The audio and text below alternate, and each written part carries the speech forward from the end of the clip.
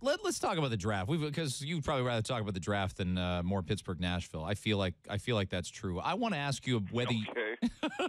I'm reading your mind. Um, I feel like there's so much talk about picks in play and rumors about trading top picks. You know, and you, you got such a great sense of history for the game. It does not happen anymore that teams flip anybody a top five pick. The last top eight pick I can find that was traded, Elliotte, was was what turned out to be Couturier in the uh, in the Columbus Philly Jeff Carter yep. trade. The last top yep. five pick that was moved was Seguin with Burke acquiring Kessel the year, but but you wouldn't have done that had you known you had the second overall. So teams teams don't do this, do they? I I'm just really really skeptical. A Dallas, a Philly is really open for business with those picks, or do you think they might be?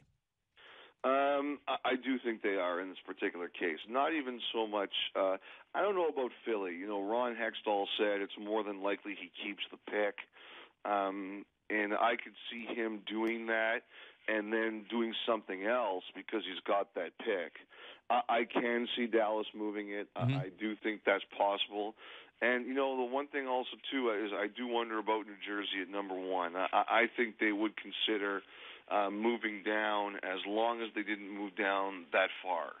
Um, you know, I, I do think there is a possibility that they will consider that. New Jersey, to me, at the top of the draft is really interesting. Um, they're an organization that really needs defensemen, uh, and there's a couple of really good ones here, but I don't know if they're going to take them num- take them number one. So uh, I'm really curious to see what they're going to do, and I, and I do think it's very legitimate that if Dallas got a defenseman that, that mattered, they would consider going out of three.